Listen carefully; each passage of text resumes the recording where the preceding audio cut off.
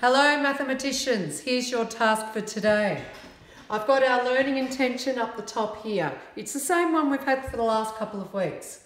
It is to know, to find unknown quantities in number sentences.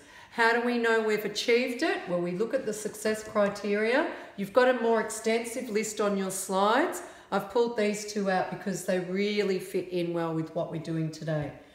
We are going to understand that a number can be represented by a letter and we're going to find missing numbers. Today's task is called today's target. Oh, I should have drawn a um, bullseye over here. Is today's target. So what happens here is you are given a number. Olivia, give me a number between 15 and 30, please. 27. So the lovely Olivia has chosen 27. That is today's target number.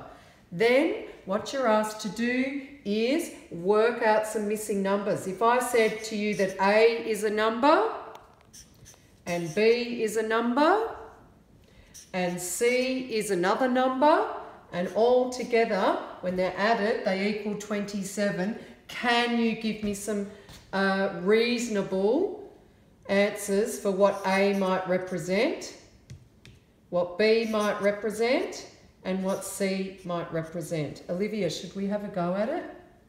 Let me see. In my head, I'm thinking A could be 10. B could be 11. How much does that get us to, Liv?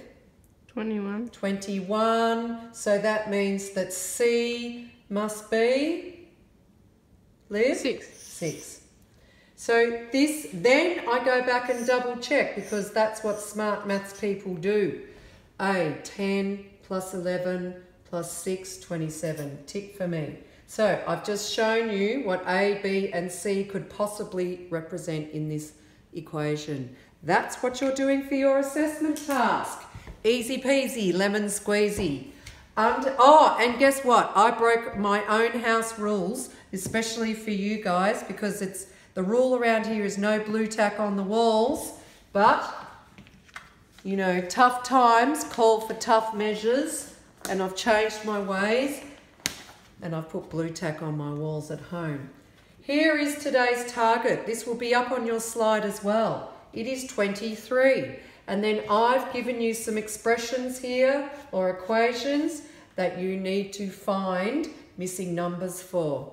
The only thing I want to say to you is just because an A up here, you decide that the A is going to equal 10, then the next equation is a completely different one.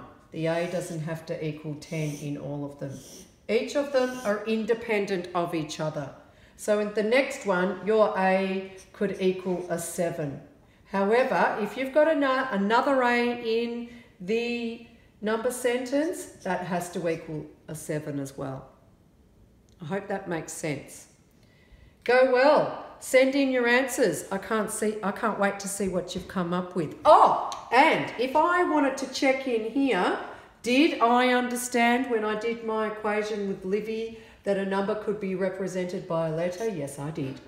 Did I find some missing numbers? Yes, I did, and I'm sure you can too.